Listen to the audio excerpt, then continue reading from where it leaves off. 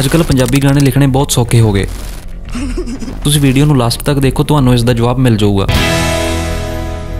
ਸਭ ਤੋਂ ਪਹਿਲਾਂ ਗੱਲ ਕਰਦੇ ਹਾਂ ਗਾਣਿਆਂ ਦੀ। ਅੱਜ ਅੱਜਕੱਲ ਆਏ ਦਿਨ ਨਵੇਂ ਤੋਂ ਨਵਾਂ ਕਲਾਕਾਰ ਲਾਂਚ ਹੁੰਦਾ ਹੈ ਤੇ ਆਪਾਂ ਨੂੰ ਰੋਜ਼ ਦੇ ਹਜ਼ਾਰਾਂ ਹੀ ਗਾਣੇ YouTube ਤੇ ਦੇਖਣ ਨੂੰ ਮਿਲ ਜਾਂਦੇ ਨੇ। ਕਈ ਵਾਰੀ ਇੱਕ ਵਧੀਆ ਗਾਣਾ ਲਿਖਣ ਲਈ ਰਾਈਟਰ 6-6 ਮਹੀਨੇ ਵੀ ਲਾ ਦਿੰਦਾ ਹੈ ਤੇ ਉੱਥੇ ਹੀ ਕਈ ਰਾਈਟਰ ਅੱਧੇ ਘੰਟੇ 'ਚ ਵੀ ਗਾਣਾ ਲਿਖ ਦਿੰਦੇ ਨੇ। ਤੇ ਕਈ ਵਾਰੀ 6 ਮਹੀਨਿਆਂ 'ਚ ਲਿਖਿਆ ਹੋਇਆ ਗਾਣਾ ਤੇ ਅੱਧੇ ਘੰਟੇ 'ਚ ਲਿਖਿਆ ਹੋਇਆ ਗਾਣਾ ਦੋਵੇਂ ਹੀ ਹਿੱਟ ਹੋ ਜਾਂਦੇ ਨੇ। ਤੇ ਇਹਦਾ ਸਭ ਤੋਂ ਵੱਡਾ ਕਾਰਨ ਹੈ ਕਲਮ, ਯਾਨੀ ਕਿ ਉਹਦੇ ਵਿੱਚ ਲਿਖੇ ਹੋਏ ਬੋਲ। ਪਰ ਤੁਸੀਂ ਕਈ ਗਾਣੇ ਦੇਖੇ ਹੋਣੇ ਜਿਹੜੇ TikTok ਤੇ Instagram ਤੋਂ ਵਾਇਰਲ ਹੋਏ ਡਾਇਲੌਗ ਤੇ ਹੀ ਬਣੇ ਹੋਏ ਨੇ। ਜਿਵੇਂ ਕਿ ਪਰਮੇਸ਼ ਵਰਮਾ ਦਾ ਗਾਲ ਨਹੀਂ ਕੱਢਣੀ, ਸਭ ਫੜੇ ਜਾਣਗੇ ਤੇ ਹੋਰ ਵੀ ਬਹੁਤ ਸਾਰੇ ਗਾਣੇ। ਤੇ ਇਹਨਾਂ ਗਾਣਿਆਂ ਦਾ ਹਿੱਟ ਹੋਣ ਦਾ ਕਾਰਨ ਵੀ ਇਹੀ ਹੈ ਕਿ ਇਹ ਡਾਇਲੌਗ ਪਹਿਲਾਂ ਹਿੱਟ ਹੋ ਚੁੱਕੇ ਹੁੰਦੇ ਨੇ ਤੇ ਫਿਰ ਲੋਕਾਂ ਦਾ ਇੰਟਰਸਟ ਹੋਰ ਜ਼ਿਆਦਾ ਵੱਧ ਜਾਂਦਾ। ਜਦੋਂ ਇਹਨਾਂ ਡਾਇਲੌਗ ਤੇ ਕੋਈ ਨਵਾਂ ਗਾਣਾ ਬਣਦਾ ਤੇ ਹੁਣ ਇਹੀ ਹਾਲ ਪੰਜਾਬੀ ਫਿਲਮਾਂ ਦਾ ਹੈ। ਅਮਰਿੰਦਰ ਗਿੱਲ ਦੀ ਚੱਲ ਮੇਰਾ ਪੁੱਤ ਫਿਲਮ ਤਾਂ ਸਾਰਿਆਂ ਨੇ ਦੇਖੀ ਹੋਊਗੀ ਤੇ ਇਹ ਫਿਲਮ ਸੁਪਰ ਹਿੱਟ ਵੀ ਰਹੀ ਸੀ। ਇਹਦੇ ਵਿੱਚ ਇੱਕ ਡਾਇਲੌਗ ਸੀ ਜਿਹੜਾ ਸਾਰਿਆਂ ਨੇ ਸੁਣਿਆ ਹੋਊਗਾ।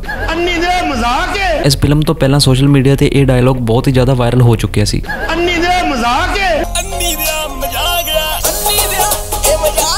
ਜਿਸ ਤੋਂ ਬਾਅਦ ਇਹ ਡਾਇਲੌਗ ਇਸ ਫਿਲਮ ਦੇ ਵਿੱਚ ਪਾਇਆ ਗਿਆ ਤੇ ਹੁਣ ਐਮੀ ਵਿਰਕ ਦੀ ਇੱਕ ਨਵੀਂ ਫਿਲਮ ਆ ਰਹੀ ਹੈ, ਜਿਸ ਦਾ ਟਾਈਟਲ ਇਹੀ ਰੱਖਿਆ ਹੋਇਆ ਹੈ। ਇਹ ਫਿਲਮ ਅਪ੍ਰੈਲ ਦੇ ਵਿੱਚ ਰਿਲੀਜ਼ ਹੋ ਸਕਦੀ ਹੈ, ਪਰ ਜਿਵੇਂ ਲਗਾਤਾਰ ਪੰਜਾਬੀ ਫਿਲਮਾਂ ਫਲੋਪ ਹੋ ਰਹੀਆਂ ਨੇ ਤੇ ਦਰਸ਼ਕਾਂ ਵੱਲੋਂ ਐਕਸੈਪਟ ਨਹੀਂ ਕੀਤੀਆਂ ਜਾ ਰਹੀਆਂ, ਉਵੇਂ ਹੀ ਇਹ ਫਿਲਮ ਵੀ ਸ਼ਾਇਦ ਇੰਨਾ ਕਮਾਲ ਨਾ ਕਰ ਪਾਵੇ। ਇਹ ਗੱਲ ਮੈਂ ਕਿਉਂ ਕਹਿ ਰਿਹਾ ਤੇ ਪੰਜਾਬੀ ਫਿਲਮਾਂ ਫਲੋਪ ਕਿਉਂ ਹੋ ਰਹੀਆਂ ਨੇ, ਇਸ ਦੇ ਉੱਤੇ ਮੈਂ ਆਲਰੇਡੀ ਇੱਕ ਵੀਡੀਓ ਬਣਾ ਚੁੱਕਿਆ ਤੁਸੀਂ ਇਹ ਵਾਲੀ ਵੀਡੀਓ ਦੇਖ ਸਕਦੇ ਹੋ। ਜੇਕਰ ਤੁਸੀਂ ਸੱਚੀ ਪੰਜਾਬੀ ਸਿਨੇਮਾ ਨੂੰ ਗਰੋ ਹੁੰਦੇ ਹੋਏ ਦੇਖਣਾ ਚਾਹੁੰਦੇ ਹੋ, ਤਾਂ ਚੰਗੀਆਂ ਫਿਲਮਾਂ ਨੂੰ ਹੀ ਸਪੋਰਟ ਕਰਿਆ ਕਰੋ, ਜਿਨ੍ਹਾਂ ਦੇ ਵਿੱਚ ਆਪਣੀ ਗੱਲ ਹੋਵੇ, ਸਮਾਜ ਦੀ ਗੱਲ ਹੋਵੇ ਤੇ ਇੱਕ ਸੋਸ਼ਲ ਮੈਸੇਜ ਵੀ ਦਿੱਤਾ ਗਿਆ ਹੋਵੇ। ਇਦਾਂ ਦੀਆਂ ਫਿਲਮਾਂ ਨੂੰ ਸਪੋਰਟ ਕਰਨੀ ਚਾਹੀਦੀ ਹੈ, ਜਿਹਦੇ ਤੋਂ ਆਪਾਂ ਕੁਝ ਨਾ ਕੁਝ ਸਿੱਖ ਕੇ ਜਾਈਏ। ਸੋ ਜੇਕਰ ਤੁਸੀਂ ਜਾਣਨਾ ਚਾਹੁੰਦੇ ਹੋ ਕਿ ਫਿਲਮਾਂ ਫਲॉप ਕਿਉਂ ਹੋ ਰਹੀਆਂ ਨੇ, ਤਾਂ ਇਸ ਵੀਡੀਓ ਦੇ ਕਲਿੱਕ ਕਰਕੇ ਤੁਸੀਂ ਵੇਖ ਸਕਦੇ ਹੋ। ਬਾਕੀ ਵੀਡੀਓ ਕਿਵੇਂ ਲੱਗੀ ਵੀਡੀਓ ਥੱਲੇ ਕਮੈਂਟ ਕਰਕੇ ਜ਼ਰੂਰ ਦੱਸਣਾ। ਬਾਕੀ ਤੁਸੀਂ ਇਹ ਵੀ ਦੱਸ ਸਕਦੇ ਹੋ ਕਿ ਤੁਹਾਡੀ ਫੇਵਰਿਟ ਫਿਲਮ ਕਿਹੜੀ ਹੈ। ਮਿਲਦੇ ਹਾਂ ਅਗਲੀ ਵੀਡੀਓ 'ਚ।